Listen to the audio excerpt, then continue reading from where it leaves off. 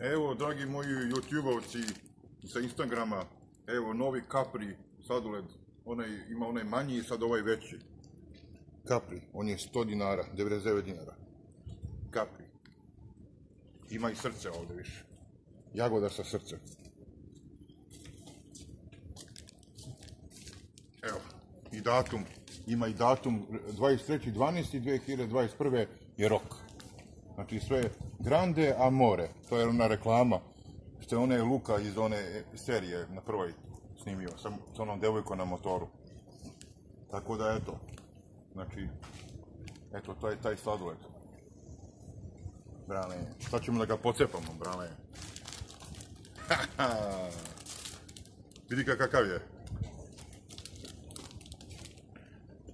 Mm, evo ga, najnoviji je, najnoviji model Caprija sa srcem i sa lukom i devojkom na motoru Capri.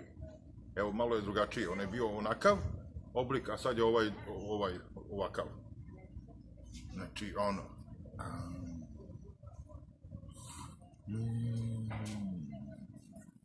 Dok Luka na motoru jede sladoled kad skine se sa motora, ja, ja, ja bez motora jedem sladoled frikom, ne dam ga nikom kapri. Mm. Mm.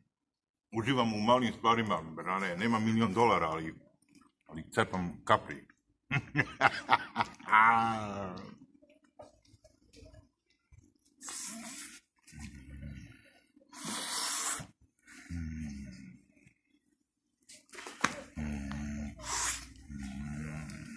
Evo ti tebi, tebi malo du.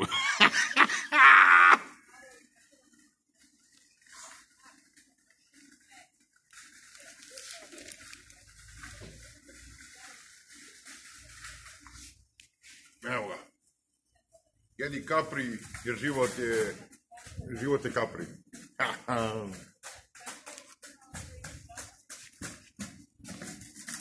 Jedite kapri, uživajte u malim stvarima. Dok je Luka na motoru sa devojkom i jede sladoled kad se skine s motora i kaže grande amore, evo ja sam, ja sam bez motora, uživam ovaj, u sladoledu kapri. Mm, I minus i ukus. Mm.